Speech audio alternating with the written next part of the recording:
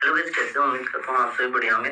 आज की वीडियो में गाइस आप सभी बताने वाला हूँ, अगर आप अमेजन पे यूपीआई में अपना बैंक अकाउंट लिंक करना चाहते हैं तो कैसे लिंक कर सकते हैं क्या क्या आपको चाहिए होगा, और आप सभी इसको लिंक करके क्या बेनिफिट ले सकते हैं, ये सब कुछ आज के वीडियो में बताऊँगा। तो वीडियो को एंड तक ज़रूर देखिएगा। तो चलिए वीडियो शुरू करते हैं। नमस्कार, मैं सूरज, आप देख रहे हैं सूरज यूट्यूब चैनल वीडियो चल गया तो जल्द से लाइक कर दीजिए सबसे चैनल पहली बार आया है हमारे चैनल का सब्सक्राइब बटन दबा के ऑल बेल नोटिफिकेशन भी ज़रूर ऑन कर लीजिए।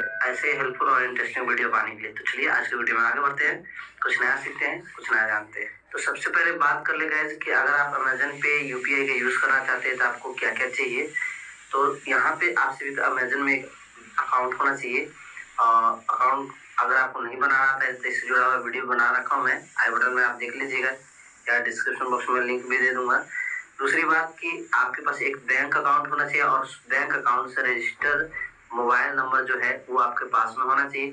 अगर आपसे का जो रजिस्टर मोबाइल नंबर है बैंक से, वो आपके उसी मोबाइल में जिसमें आप अमेजन पे यूपीआई यूज़ करते हैं तो ज़्यादा बेहतर होगा ऑटोमेटिकली फेस कर लेगा आपका ओटीपी ठीक है ना? और जो भी डिटेल होगा वो तो अच्छा रहेगा ज़्यादा। अगर नहीं तो फिर आपको उसमें ओटीपी डालना पड़ेगा, जो भी डिटेल मांगे वो डालना पड़ेगा, ठीक है ना?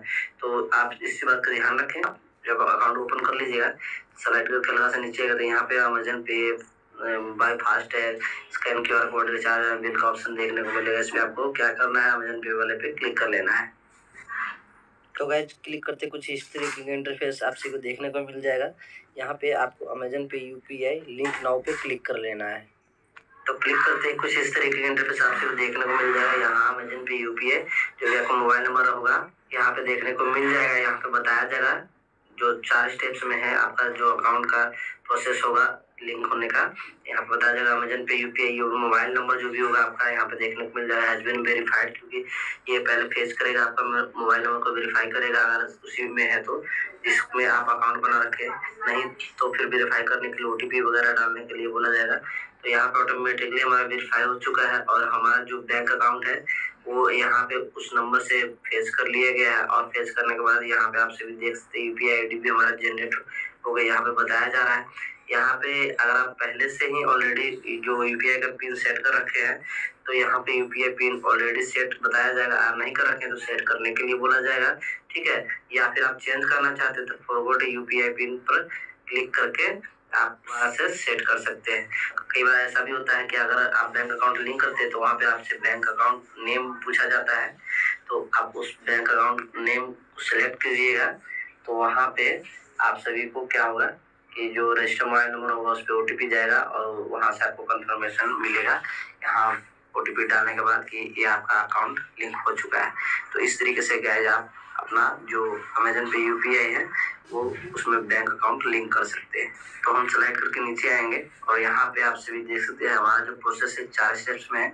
यहाँ प्रोसीड पे हम क्लिक करेंगे तो हमारा प्रोसेस कंप्लीट हो जाएगा। यहाँ पे ये भी बताया जा रहा है to set Amazon Pay UPI allow Amazon to send an S M S access your device details to verify your mobile number register with your bank यानी साफ़ साफ़ जो मैंने अभी आपको बताया ना कि यहाँ पे आपको अलाउ करना होगा कि आपका जो अमेजन पे यूपीआई है, वो मैसेज भेज सकता है और रिसीव कर सकता है जो भी आपका अकाउंट का डिटेल है उसको वेरीफाई करने के लिए जो आपका मोबाइल नंबर रजिस्टर है, जो आपके बैंक अकाउंट से।